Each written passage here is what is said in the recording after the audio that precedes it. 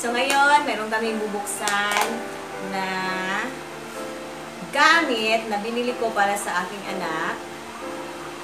Ito ay binili namin sa Lazada. So,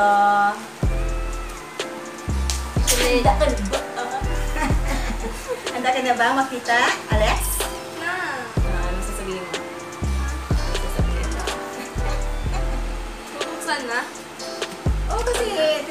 Natin kung kompleto yung... Nag-order kami ng ukulele para sa sunod niyang gagawin. Kaya ayun, expect namin na mayroong, ano yan? Merong bag. Mayroong bag? Tapos, ano, strap. Strap? Tapos, ano, couple. O kapo daw. Hmm, Tingnan nga natin mga kalangga. Oh, hindi ko nakita. Parang dilim. Ha? Ito. Karen, excited Excited na rin. Nag-disinfect na ba to? Okay.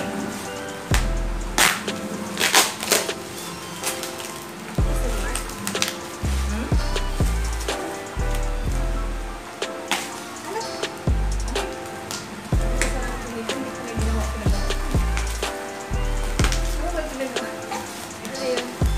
Yung. Ano yun? Ha?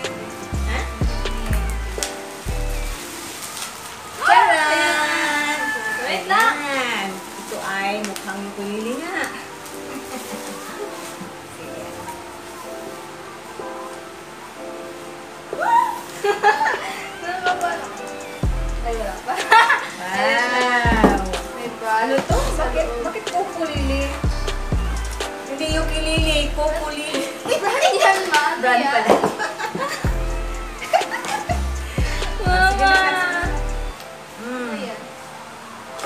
Ano to? Ito na yung kapo. Ayan. May isang item na. Tapon. Pakita ko yung. Ano, naki- ano, ano, lapit mo na. Ito pala. Yan ang kapo. Mhm. Ito yung bag niya. Ba't kasi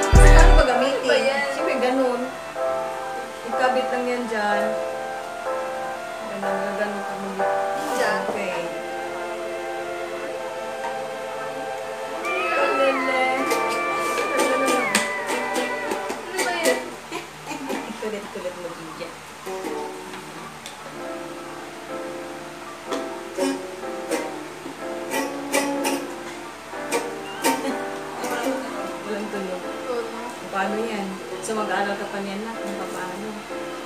Tapos, ay ito pa, baka mag-clip-clip to. Hmm? yung kapo? Anong gamit ng kapo pala?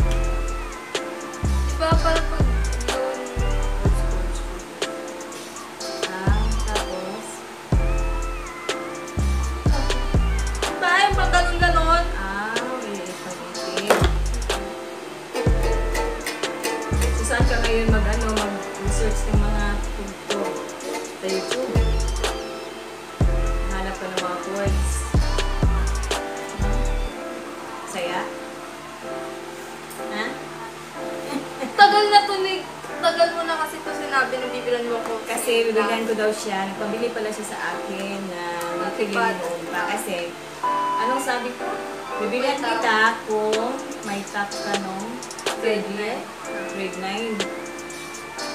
Yan, yun pala, mula first grading hanggang fourth grading mga kalangga, nag-top pala siya.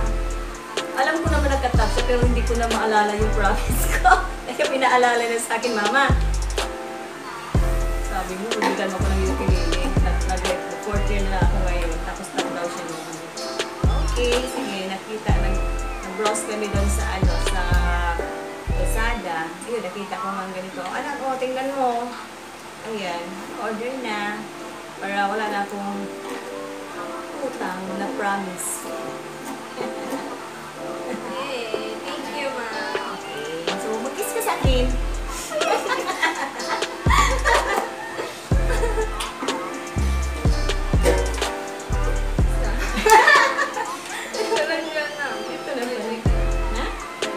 Okay, so ito na? Ay, ano muna tayo? Cabinet.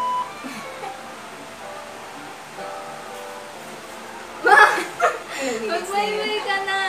Okay mga kalangga, thank you for watching. Bye-bye! Hindi mo kailangan kasi unboxing na